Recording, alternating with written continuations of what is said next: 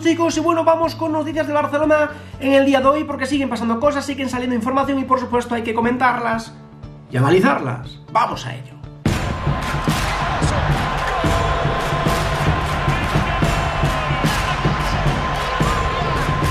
Bien, pues como decía, vamos con estas noticias de Barcelona, comenzamos con la porta porque dicen que acelera por Haaland. Ayer se sabía la reunión de Xavi Hernández y Jordi Cruyff con Haaland hace otros días. La Porta combinó Rayola y ahora dicen que la Porta acelera con el acuerdo CVC para fichar a Haaland. El Barça necesita sí o sí mm, más dinero para cuadrar cuentas para poder fichar al noruego. Los problemas para cerrar el acuerdo con Spotify que de momento está en el aire, no se sabe nada, dicen que no hay ningún problema y tal, lo que pasa que hay unas cláusulas, hay tanto dinero de por medio que hasta que cierren todo, de momento, bueno, que no está cerrado, por lo cual que ahora mismo mmm, hay ciertas dudas en todo eso, aunque dicen que no hay ningún problema, que se va a hacer, pero de momento no se ha hecho. Entonces dicen que ahora mismo han precipitado un cambio de planes y que necesitan sí o sí el acuerdo CVC.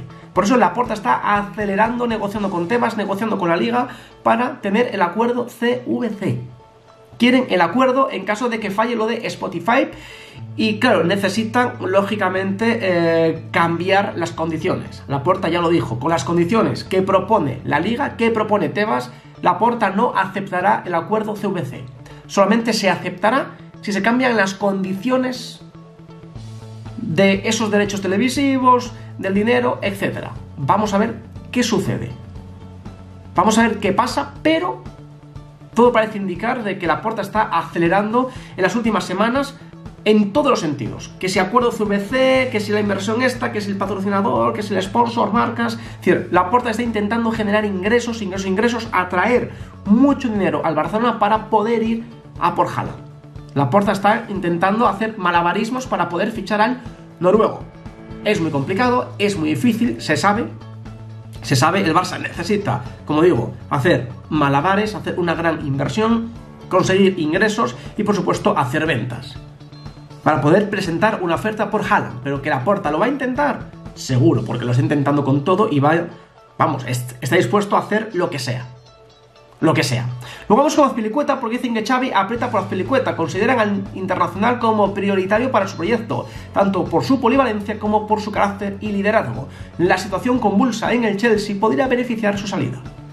Bueno, sabemos que Azpilicueta eh, tiene 32 años, es veterano, pero todavía está a un nivel muy alto en la Premier, en un equipo como el Chelsea, que lo acaba de ganar todo, eh, pues lógicamente Azpilicueta es un jugador importante tanto para Luis Enrique en la selección como para el Chelsea.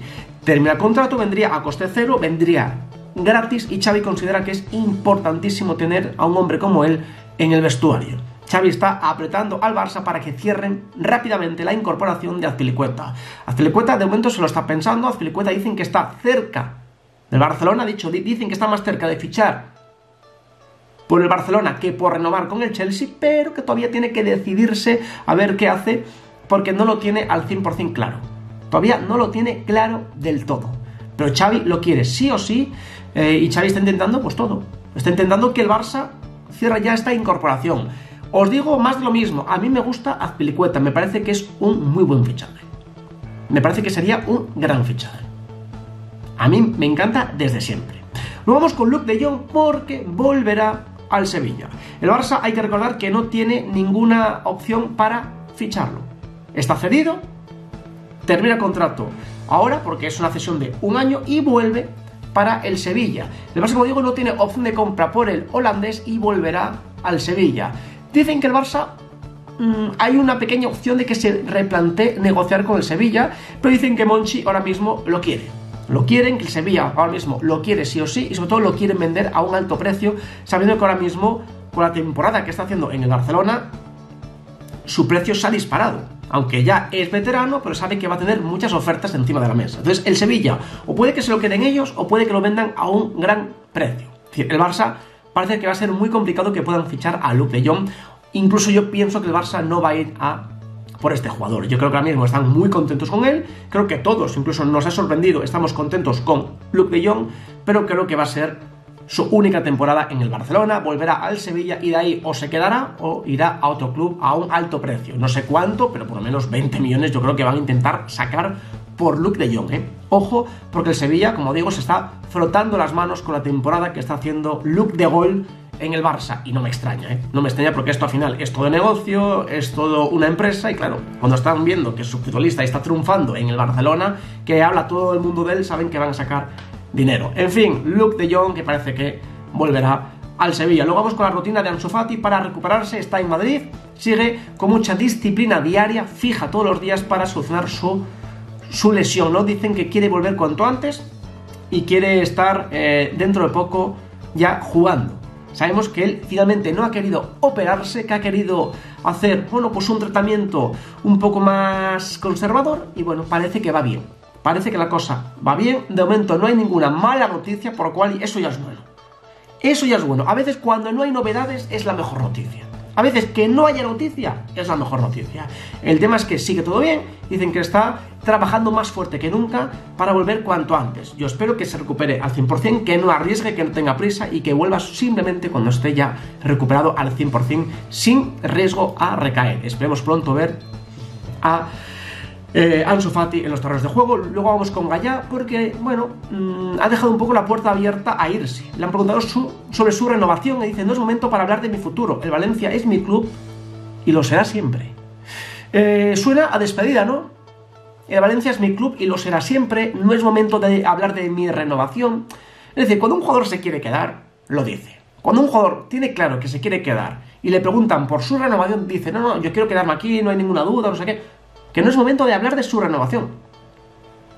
Es decir, el Barça, atento a Gallá porque es el lateral que más gusta.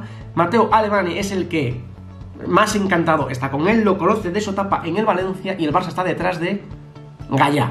Lateral izquierdo que a mí me gusta mucho, que me parecería un fichaje muy bueno y que como termina contrato en un año, su precio no sería tan alto, no sería tan descabellado, por lo cual el Barça muy atento y no me extraña. ¿eh? Y no me extraña. Ojalá el Barça pueda ficharlo. Ojalá el Barça pueda ficharlo. Porque sería un jugadorazo. Pero bueno, él deja ya la puerta abierta y como digo, hay ciertas esperanzas de que se pueda cumplir. Hay ciertas esperanzas de que se pueda cumplir.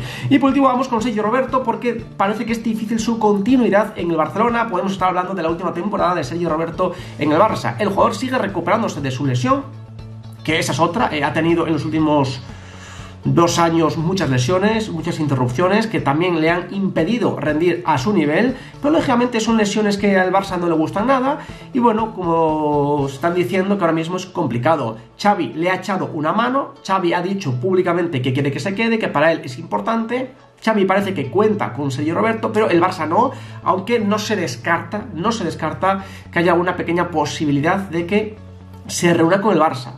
Pero de momento eso no ha pasado. De momento el Barça no ha llamado a Sergio Roberto para negociar.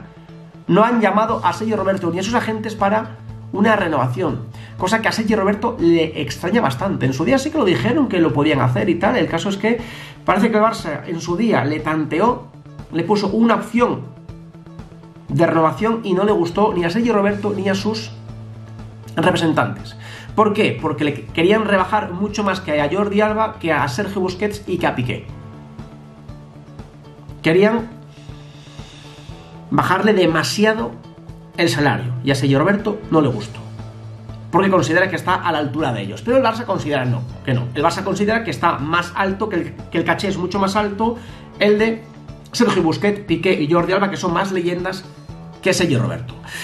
Y además piensan que cobra una grandísima cantidad y que es un jugador prescindible. Y estoy completamente de acuerdo. Es decir, creo que es un jugador que si se va, sintiéndolo mucho y aunque suene feo, creo que no se va a notar en el equipo. Creo que no mejora a nadie en el lateral derecho, no mejora a Serginho Des, ni mejora a Dani Alves, ni al que venga, ni mejora a nadie en el centro del campo. ¿A quién quitas para meter a este hombre? Que es muy bueno, que sí, que es un buen jugador, que rinde, que cumple, que tiene una actitud magnífica, que le voy a desear lo mejor del mundo, por supuesto que sí, y todos los culés le guardamos un cariño grandísimo a Sergio Roberto, pero siendo claros, creo que es momento de que se vaya. Así de claro. Es que es lo mejor. En fin, chicos, hasta aquí estas noticias del Barça en el día de hoy. Ya sabéis, dejadme todo en los comentarios, cómo lo veis vosotros, qué os parecen estos temas. Os leo. Suscribiros a este canal si todavía no lo estáis, dejad vuestro enorme like y nos vemos en el siguiente vídeo. Venga. Un saludo.